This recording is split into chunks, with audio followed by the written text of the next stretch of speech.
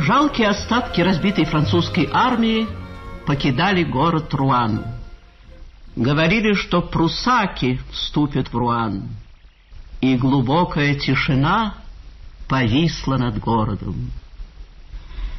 И вот на другой день после отхода последних французских войск быстро по городу проехало несколько неприятельских уланов, а вслед за ними по всем направлениям потекло немецкое войско. По улицам стали раздаваться незнакомые голоса команды, а в домах, казалось, все опустело, все вымерло. Наступала пора для побежденных любезничать с победителями. Не сегодня-завтра могли нуждаться в их покровительстве. Но мало-помалу город принимал свой обычный вид.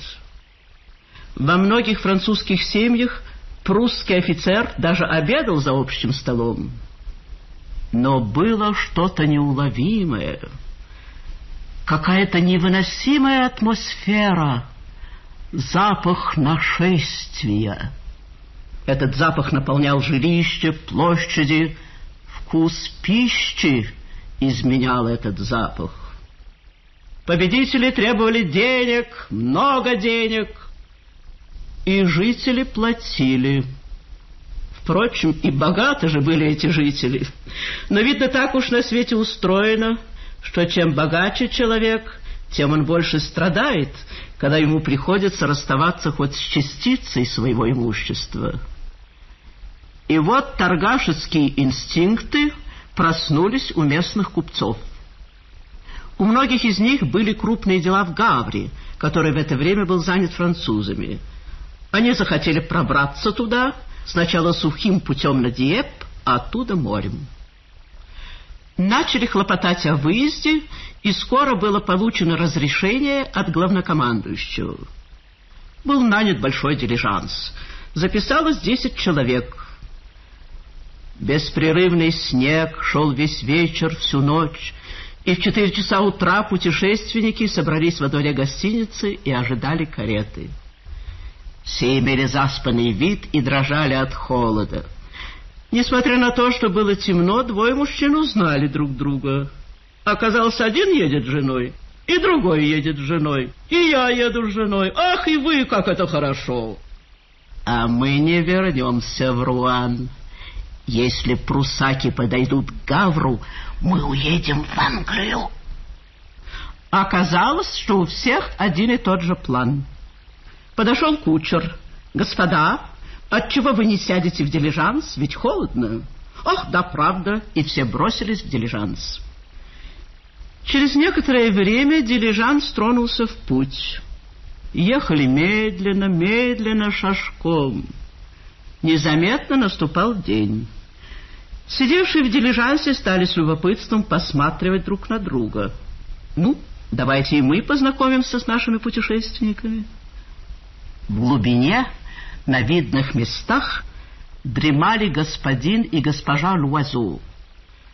Господин Луазо был сначала приказчиком, а когда хозяин разорился, купил у него всю торговлю и... Хорошее же состояние было у него. Он очень выгодно продавал очень скверные вина мелким деревенским торговцам. Ох, какой это был плут, этот Луазо! Какая это была ловкая, изворотливая бестия! Кроме того, господин Луазо был известен всевозможными веселыми проделками и шуточками, иногда очень удачными, а иногда безобразными. Когда говорили о господине Луазо, то всегда прибавляли «Ах, этот Луазо, это такой комик! Маленький рост, толстый живот, это шар, красное лицо, бакенбарды, вот все». Его жена, госпожа Луазо, была крупная, полная женщина, эдакая бочка, с громким голосом, решительными движениями и с душой жандарма. В торговом деле она была олицетворением точности, ясности, порядка и бережливости. Возле нее важно восседал господин Карель Мадон, хлопчатобумажный фабрикант, кавалер Ордена Почетного Легиона. Во время империи господин Карель Мадон был даже вождем оппозиции.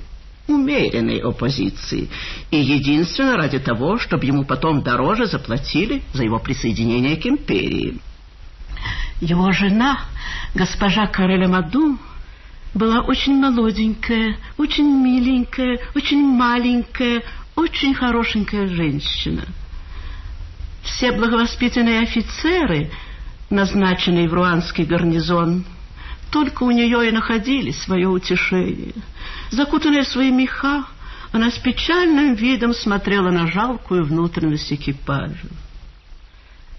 Ее соседи были граф и графиня Гюбер де Бревиль. Граф — старый аристократ, изысканной манеры. Он старался искусственным образом поддерживать свое кровное родство с Генрихом IV, который, по легенде, составлявший гордость семьи, был виновником беременности одной из дам де Бревиль, за что ее муж получил графство. В истории брака с дочерью одного нанского судохозяина было что-то темное, но графиня была так величественна, умела принимать лучше всех. Кроме того, состояние де Бревиль было очень велико, а это что-нибудь да значит.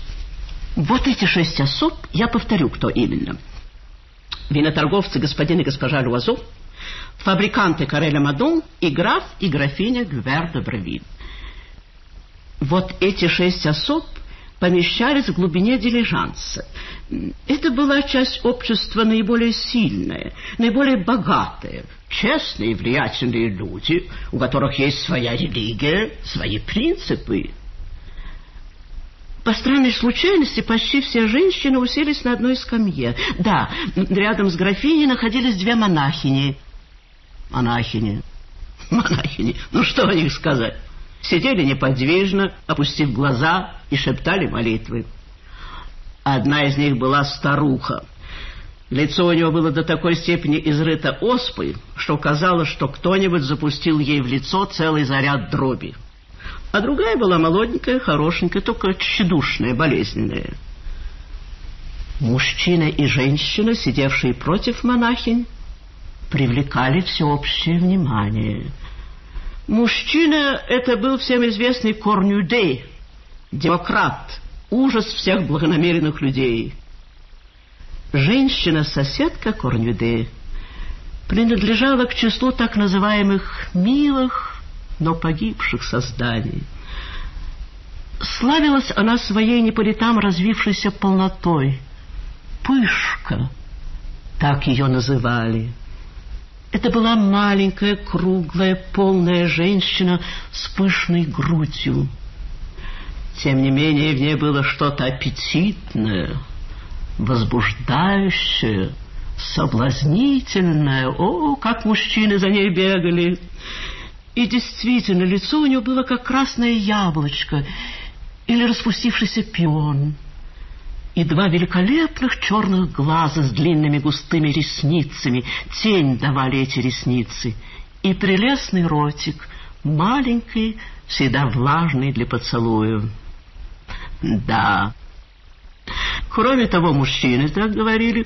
У нее было много и других очень-очень больших достоинств. Мужчины всегда прибавляли, ну, сами увидите. Как только ее увидели, шепот пробежал среди дам общества. «Это она!» «Вы знаете?» «Пышка!» «Да?» «Да, проститутка! О!» О, о, это было сказано так громко, что Пышка подняла глаза и обвела всех таким вызывающим взглядом, что воцарилась полная тишина. То-то. Разговор вскоре снова возобновился между тремя дамами. Э, присутствие этой девушки как будто еще более сблизило их. Они как будто составили союз э, перед лицом этой... Да. Присутствие Корнюды, напротив, сблизило мужчин, э, которые говорили теперь о денежных делах в особенно презрительном для бедных людей тоне. Граф Гюбер де Бревиль говорил о страшных убытках, которые причинила ему война, но в его тоне слышалась уверенность, что убытки не стеснили его более чем на год. Фабрикант Кареля Мадон тоже много потерял на хлопчатобумажном деле. но на всякий случай перевел в Лондон 600 тысяч франков. Что касается господина Руазо, то этот плут спустил французскому интендантству все свои дешевые вина. Так что государство должно было ему порядочный куш. Вот его-то он и думал заполучить в Гаври. Все трое мужчин переглядывались. Несмотря на разное положение, они чувствовали себя братьями, принадлежавшими к тому всемирному обществу людей, которые, запустив руки в карманы и позвякивая золотом, с большим презрением смотрят на весь остальной мир. А, наплевать на всех! Дилижанс подвигался медленно, так медленно, что к десяти часам не сделали и четырех миль начинали беспокоиться, так как завтракать предполагали в Тоте. Между тем, при такой езде туда едва ли можно было попасть к вечеру. Аппетит возрастал, а это приводило всех в дурное настроение. Тем более, что по дороге не было ни одной корчмы. От сильного голода разговор умолк. Время от времени то тот, то другой зевал. А к часу дня господин Луазо объявил, что он положительно чувствует пустоту в желудке и за небольшой окорок дал бы тысячу франков. Его жена чуть с ума не сошла. Она не могла спокойно слышать о швырянии денег и не понимала даже шуток на этот счет. Черт возьми, почему мы не захватили провизии?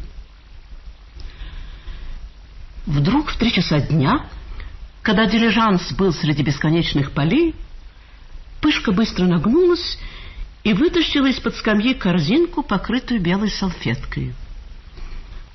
Сначала она вынула маленькую тарелочку и тоненький серебряный бокал, а затем большую миску, в которой, застыв желе, лежали два больших разрезанных на куски цыпленка. В корзине было завернуто еще много вкусных вещей. Тут были и пирожки, и фрукты, и лакомства. Вообще запас провизии был рассчитан дня на три. Пышка вытащила крылышко цыпленка и хлебец и стала есть. Все взгляды были устремлены на нее. От запаха пищи невольно раздувались ноздри, рты наполнялись слюной. Презрение дам к этой девице перешло в свирепую злобу. Казалось, они собирались выбросить ее в снег вместе с ее бокалом, корзинкой провизии. Луазо пожирал глазами миску с цыплятами. Пышка подняла на него глаза. Может быть, ему угодно? Нельзя же не есть с самого утра. О, конечно, о, еще бы.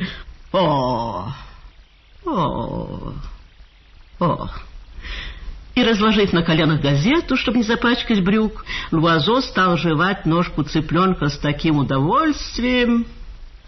В карете пронесся вздох отчаяния. Пышка предложила монахиням. Моментально согласились. Пробормотали какую-то благодарность и, не поднимая глаз, стали уплетать. Пышка предложила корнюды, он не отказался. Господин Луазо приглашал жену последовать его примеру. Она довольно долго сопротивлялась, но спазма в желудке, и она согласилась. Голодные граф и графиня Гюбер де Бревилли читали Мадон, окруженные людьми, которые с аппетитом уплетали, одурели от запаха пищи.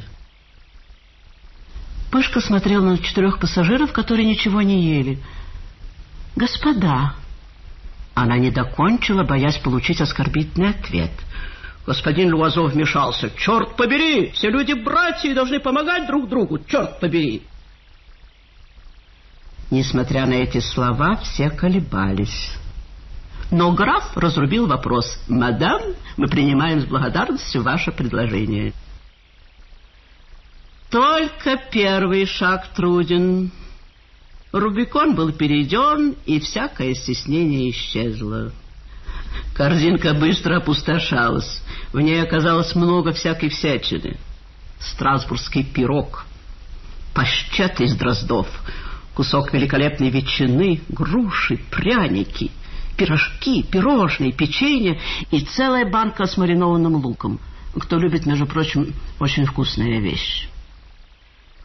Но невозможно было поедать провизию этой девицы, не разговаривая с ней, поэтому заговорили. Сначала сдержанно, потом непринужденно. Пышка держала себя с большим тактом. Графиня Гупер де Бребиль и госпожа Карель Мадон были деликатны, были любезны. Особенно была очаровательна графиня. С ее милой снисходительностью дамы высшего общества, которая не может загрязнить ничье соприкосновение. Одна только толстая госпожа Лювазо, имевшая душу жандарма, угрюмо молчала. Она говорила мало, ела много. Разговор вращался около войны. Говорили, конечно, про ужасы прусаков и про подвиги французов. Затем начались разговоры про самих себя. Пышка с неподдельным волнением и горячностью стала рассказывать, как она решилась покинуть Руан. Сначала ей казалось, что она сможет остаться на месте. Лучше кормить нескольких солдат, чем уезжать неизвестно куда. Но это оказалось выше ее сил. Когда она в первый раз увидала прусаков, не удержи ее горничная, она перешвыряла бы им в голову всю мебель. А когда солдаты явились к ней на постой и стали грубо и нахально к ней приставать, она одному из них вцепилась в горло.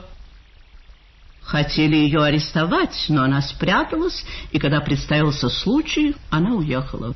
«Браво! Браво! Браво, гражданка!» Все поздравляли. Да, корзинка была пуста. Десять человек легко с ней справились, сожалея, что она не была больше. Разговор продолжался еще несколько времени, но с меньшим оживлением, в особенности после того, как все наелись. Ночь быстро наступала. В карете стало совсем темно.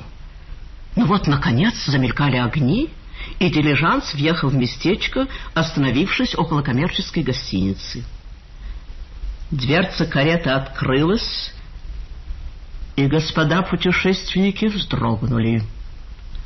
Рядом с кучером, в ярком освещении фонаря, стоял немецкий офицер. Высокий молодой человек, белокурый, с длинной тонкой талией, затянутый в мундир, точно девица в корсет. Он довольно грубо предложил путешественникам вылезать. Первые повиновались кротостью святых дев монахини. Затем появились граф и графиня, читали Мадон и господин Руазо, подталкивая свою почтенную половину. Скорее из чувства осторожности, чем из вежливости, господин Луазо поздоровался с офицером. «Месье, добрый день!» Но тот только дерзко посмотрел на него. Все собрались в большой кухне гостиницы. Офицер приказал предъявить разрешение на выезд, подписанный главнокомандующим, где должны были значиться имена, приметы и профессия каждого путешественника. Долго и внимательно осматривал всех, сравнивая каждого с приметами. Эть! Ушел. У всех отлегло от сердца, захотелось всем есть, заказали ужин. И пока кухарка готовила, все пошли осматривать комнаты. А когда сели за стол, появился хозяин гостиницы, господин Фолонви, бывший торговец лошадьми, очень тучный человек, у которого вследствие одышки все слова сопровождались кашлем, сморканием, хрипением, свистом и сипом. Он и сейчас проделал всю эту музыку. И мадемуазель Елизавета Руссе. Пышка вздрогнула. Это я. Прусский офицер желает переговорить с вами. Пышка смутилась, переспросила хозяина и наотрез отказалась. Все общество заволновалось.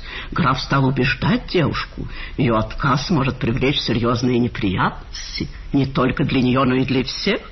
Никогда не следует противиться тем, кто сильнее нас. По всей вероятности, не соблюдена какая-нибудь формальность. Все присоединились к графу. Девушку стали просить, умолять, убеждать, наконец, заставлять. Хорошо. Хорошо, она сделает это, но только для них. Пышка вышла. Каждый сожалел, что не его вызвали вместо этой грубой, вспыльчивой девушки. Через десять минут Пышка вернулась, красная, задыхающаяся от гнева. «О, каналья! О, рвань!» Общество засуетилось. В чем дело? Чего офицер хотел? Но она ни за что не хотела сказать «нет, нет и нет». На настояние графа Пышка ответила с большим достоинством, что это его не касается. Вуаля! После этого все подсели к высокой миске, из которой шел вкусный запах капусты.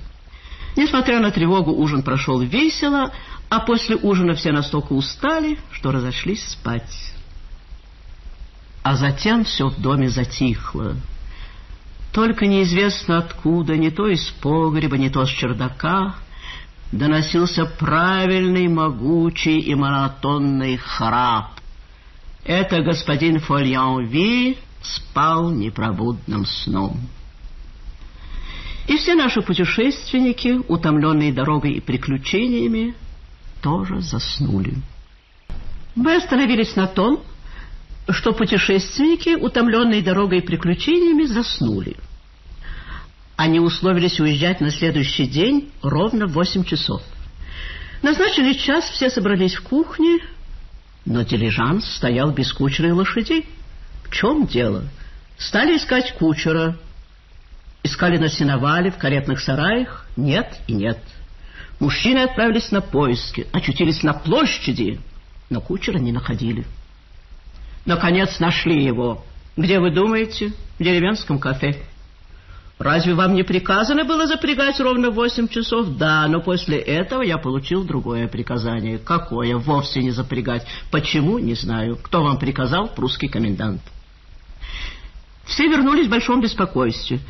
Потребовали фолион Ви, но служанка сказала, что хозяин из-за его астмы никогда не встает раньше десяти часов. Спросили, нельзя ли повидать офицера. Оказалось, нет. Один фолион Ви имел право видеться с ним. Ну, что делать? Пришлось обождать. Корнюде расположился в кухню большого камина и потребовал маленький столик и бутылку пива. А господин Луазо под предлогом, что ему надо размять ноги, пошел сбывать дрянное вино местным торговцам. Этот плут успел все-таки среди шуточек и прибауточек спустить господину Фольонви шесть бочонков вина на весну, когда прусаки уйдут. В десять часов явился Фолеонви. Все бросились к нему с расспросами. Оказалось, действительно, офицер приказал не запрягать карету этих господ. Пришлось обратиться к самому офицеру. Граф послал ему свою карточку, на которой господин Карель Мадон приписал свое имя со всеми титулами. Офицер приказал ответить, что допустит этих господ после завтрака. Дамы появились, и, несмотря на беспокойство, все слегка позавтракали. Пышка казалась крайне смущенной. По окончании кофе за графом и фабрикантом явился вестовой офицера. К ним присоединился господин Луазо. Поднявшись по лестнице, все были введены в комнату офицера, лучшую в гостинице. Офицер принял их, развалясь в кресле, с ногами на камине, с длинной фарфоровой трубкой в зубах. Он не встал, не поклонился, даже не посмотрел на них. Великолепный образчик грубости. Мы желаем ехать? Нет. Осмелимся спросить, почему? Нет. Почтительнейше заметим вам, что ваш главнокомандующий разрешил нам проезд на Диеп. Нет. Все трое поклонились и ушли. Весь день прошел в большом беспокойстве. Никто не понимал упрямства офицера. Всевозможные странные мысли приходили в голову. Может быть, их задерживают в качестве заложников, но с какой целью? Или, что возможнее, с них потребуют выкуп за освобождение. При этой мысли ими овладел панический страх. Они уже представляли себе, как их мешки с золотом начнут переходить в карманы этого грубого солдата. Они ломали головы, как бы выдать себя за бедных, очень бедных людей, и господин Луазо даже снял с себя золотую цепочку от часов и спрятал ее в карман. До обеда оставалось часа два. Госпожа Луазо предложила сыграть в карты. Это развлечет. Все согласились, граф стасовал карты и сдал. Пышка сразу объявила тридцать одно, и все, увлекшись игрой, успокоились. Корнюде даже заметил, что супруги Люазо обмениваются знаками и плутуют. Появился хозяин Фольонви. Покашлял, похрипел, посвистал. Прусский офицер приказал спросить мадемуазель Елизавету Руссе, переменила ли она свое решение или нет. Пышка сначала побледнела, а затем, задыхаясь от гнева, набросилась на трактирщика с кулаками. Пусть он скажет этому пьяницу, этой прусской падали, этой рвани, что она никогда не захочет. Никогда, никогда! Трактирщик ушел, все пристали к пышке. Что офицер от нее требует? Ни за что не хотела сказать. Ни за что. Ни за что. А, они требуют? Они пристают? Хорошо. Хорошо, она скажет. Это прусская падаль, это рвань требует, чтобы она спала с ним. Вуаля! Никто не был шокирован, до такой степени это показалось возмутительным. Корнюдей даже разбил свою кружку. Все негодовали и осуждали этого грубого солдата. Граф даже заметил, что так поступали только древние варвары. Особенно энергично выражали сочувствие пышки женщины. Тем не менее, когда прошел первый гнев, сели обедать. Но говорили мало, больше размышляли. Дамы скоро ушли, и мужчины тоже объявили, что уже поздно, и разошлись спать. На другой день опять встали довольно рано, в смутной надежде — очень уж было сильно желание уехать из этой ужасной харчевни. Увы, дилижанс стоял без лошадей. За ночь много было передумано, и мнения относительно Пышки несколько изменились. На нее даже злились за то, что ей не пришло в голову тайком свидеться с офицером, чтобы потом устроить всем приятный сюрприз. Чего же проще? Ты кто узнал бы об этом? Ради приличия она могла бы дать понять Прусаку, что она это делает только ради них. Тем более, что это для нее стоит. Что такое, подумаешь? Но никто, однако, не открывал этих мыслей другим. После завтрака Ах, как было скучно после завтрака! Граф предложил прогуляться, и, закутавшись хорошенько, все отправились гулять, за исключением Корнюдея. Впереди шли четыре женщины, трое мужчин следовали позади. Дамы разговаривали о туалетах, но все были чем-то смущены. Вдруг в конце улицы появился прусский офицер — на белом фоне еще более выделялась его фигура с длинной тонкой талией. Он шел особенной военной походкой, как бы стараясь не запачкать своих тщательно вычищенных сапог. Пышка покраснела, а дамы почувствовали что-то унизительное от того, что этот офицер встретил их в обществе особы, с которой он позволил себе такое вольное обращение. Разговор зашел о наружности офицера. Госпожа Кареля Мадон, знавшая немало офицеров и понимавшая в них толк, нашла, что он ничего. Ничего, она даже заметила, сожалением заметила, что, будь он француз, из него вышел бы прихорошенький гусар, и все дамы были бы от него без ума. Вернувшись домой, не знали, что им делать. Из-за пустяков говорили друг другу дерзости, колкости, и после обеда, прошедшего скоро и молчаливо, все поспешили улечься спать, желая хоть этим убить время. На следующий день спустились в кухню с утомленными лицами, раздраженные. С Пышкой женщины почти не разговаривали. Церкви по случаю крестин ударили в колокол. У Пышки был ребенок, отданный в крестьянскую семью на воспитание. Она редко с ним виделась и почти никогда о нем не думала. Но тут вдруг мысль о крестинах пробудила в ней неожиданную и сильную нежность к своему ребенку. Она непременно захотела присутствовать на церемонии. Как только она ушла, все переглянулись. Надо же на что-нибудь решиться. И тогда госпожа Луазо, этот жандарм в юбке, не могла больше сдерживать своего темперамента. Вот понесла. Она не понимала, почему эта потаскуха имеет право отказывать одному скорее, чем другому. Ведь она путалась в Руане, с кем попала. И она, эта госпожа Луазо, находила, что офицер поступает отлично. Он, конечно, предпочел бы кого-нибудь из нас, но он воспитанный человек, он уважает замужних женщин и желает воспользоваться той, которая без того всем принадлежит. Ведь он здесь хозяин. Он может воспользоваться любой из нас силой. При последних словах дамы слегка вздрогнули, а у хорошенькой мадам Кареля Мадон заблестели глаза. Мужчины, рассуждавшие в стороне, подошли к дамам. Господин Луазо как будто сошел с ума. Знаете, что он предлагал? Связать пышку, связать, отдать ее солдатам, пусть они делают, что хотят, сволочь.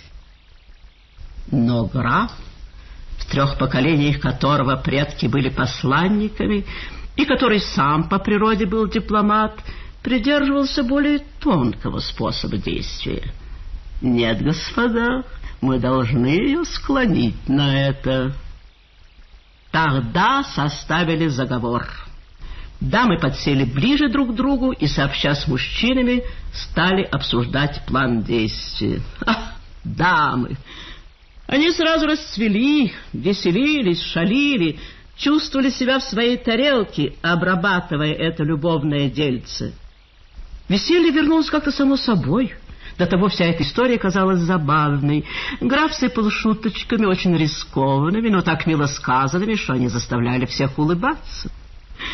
Что же касается господина Луазо, то он говорил такие сальности, которые, впрочем, никого не задели. У всех в голове была мысль, грубо высказанная госпожой Луазо. Раз это ее ремесло, то почему она должна предпочитать одного другому? Долго обдумывали осаду этой живой крепости. Наконец был установлен план необходимой хитрости и предосторожности. Все до такой степени были увлечены, что не заметили, как вошла пышка. «Тише! Она здесь!» Все замолчали. До завтрака дело ограничилось только тем, что все были с пышкой преувеличенно любезны, с целью возбудить в ней побольше доверия и только за завтраком начались первые подступы. Сначала завели туманный разговор о самоотверженности вообще. Стали приводить примеры из истории. Юдив и Олаферн. В первую очередь пошла именно эта история. Затем дело дошло до Клеопатры. Ну, эта дама принимала в своем ложе всех неприятельских полководцев, а потом не заводила их до степени своих рабов. Затем пошли уж самые фантастические примеры. И невежественны же были эти миллионеры. По их словам, выходило так. Когда неприятель подступал к Риму, то все римские гражданки-матроны так и переходили в лагерь к неприятелю. Все это было рассказано с большим увлечением, цель ясна конце концов могло показаться, что единственное назначение женщины на этом свете – это беспрерывное предоставление своей особы грубым солдатским прихотям. Пышка слушала, но ничего не говорила. За обедом коалиция несколько ослабела. Старались придумать новые исторические примеры, но запас иссяк. И вдруг графиня, может быть, непреднамеренно, э, из смутного религиозного чувства, спросила что-то старшую из монахинь о сподвижничестве святых. Ведь многие из них совершали поступки, э, которые показались бы нам преступными, но церковь охотно прощает эти преступления Если они сделаны во славу Божию, о, какой могущественный аргумент! И вот старая монахиня оказала заговору значительную поддержку. Думали, что она застенчива. Нет, нет, она оказалась такой резвой, такой страстной. А главное, вера ее не колебалась, не имела никаких сомнений. По повелению свыше она могла бы сделать любую подлость, любую гадость. Да что гадость и подлость? Она могла бы убить отца, мать, да кого угодно, лишь бы ему было угодно. Графиня уцепилась за этот могущественный аргумент и переспросила монахиню, «Значит, Бог прощает всякое дурное дело, если оно сделано с доброй целью, во славу Его?» Оказалось, конечно, какое же может быть сомнение? Всякое дурное дело, сделанное во имя Его, ему будет очень приятно. И графиня и монахиня продолжали в этом роде. Разъясняли божескую волю во всех ее нюансах, во всех переливах. Вмешивали своего бога такие грязные дела. На следующий день все сошлись к завтраку довольно поздно. За столом с Пышкой мало разговаривали. После завтрака графиня предложила прогуляться, граф взял Пышку под руку и немного отстал. Он заговорил с ней полудружеским, полуотеческим тоном. Он назвал ее «мое милое дитя». «Итак, мое милое дитя, вы предпочитаете задержать нас и в случае какой-нибудь неудачи прусских войск подвергнуть нас и себя всевозможным неприятностям. Вы никоим образом не хотите согласиться на маленькую любезность. Он так и сказал, любезность, которую просит от вас прусак. Но, ну, мое милое дитя, вы же неоднократно в своей жизни делали эту любезность. Пышка слушала и, ничего не отвечая, присоединилась к другим дамам. По возвращении домой она поднялась к себе и более не показывалась. Беспокойство возросло до последней степени. Как она теперь поступит? Вот будет положение, если она заупрямится. Наступил обеденный час. Пышка не показывалась. Наконец появился Фолонви. Мадемуазель Елизавета Русселье здорова и просила ее не ждать. Граф спросил трактирщика, ну, а наше дело, да? Хе-хе-хе, да. Общий глубокий вздох облегчения. Господин Луазо закричал «Шампанского! Ставлю шампанского!» Разговор оживился, остроты так и сыпались. Господин Луазо, поднявшись, предложил тост за освобождение. Все общество присоединилось к тосту. Даже монахини по просьбе дам согласились омочить свои губы в пенистом вине, которого они никогда не пили. Попробовав его, они нашли, что оно очень вкусное, напоминает лимонад газез, но только вкуснее лимонада газез. Расходившийся Луазо жалел, что нет фортепиано, а то можно было бы отхватить кадриль. Корнюдей за все время не проронил ни одного слова. Он, казалось, погрузился в очень важные размышления и по временам нервно теребил свою длинную бородку. Когда общество расходилось, господин Луазо, покачиваясь, хлопнул его по животу. «Что такое? В чем дело? Почему этот гражданин все молчит?»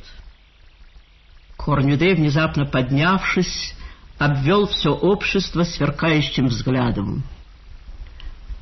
«Объявляю всем вам, что вы поступили гнусно!» Повторил около дверей гнусно, вышел. Сперва все смутились. Господин Луазо имел довольно глупый вид. Но он овладел собой, а пломб к нему вернулся. Ха-ха-ха-ха-ха! Зелен виноград, старина, зелен виноград. Дамы забавлялись, как сумасшедшие. Он ревнует. Боже мой, он ревнует. Одним словом, все общество веселилось. А на следующий день дилижанс стоял запряженный. Путешественники с сияющими лицами укладывали запасы провизии на весь остальной путь. Ждали только пышку. Наконец она явилась. Как только она приблизилась, все от нее отвернулись. Граф с достоинством взял жену под руку, как бы желая ее удалить от этой. Пышка была поражена. Она подошла к фабриканше. «Мадам!» Та посмотрела на нее с видом оскорбленной добродетели. Все казались чем-то занятыми. Все сторонились от нее, как будто она на своих юбках принесла заразу. Затем все заторопились в дилижанс. Места заняли, как и в первую часть путешествия. Дилижанс тронулся в путь на Диеп. Сначала все молчали. Пышка не смела поднять глаз. Она была возмущена. Она чувствовала себя оскорбленной и в то же время чувствовала что она унизила себя тем, что уступила им, что она осквернила себя поцелуями Прусака, в объятия которого так лицемерно, так предательски толкнули ее вот эти господа. Казалось, ее не видят, не знают, не знакомы. Графиня обратилась к госпоже Кареле Мадон, дамы заболтали. «Вы знаете, мадам Дестрель, о да, какая возвышенная душа!» Фабрикант завел разговор с графом, и сквозь дребезжащие стекла прорывалась купон, проценты, платеж.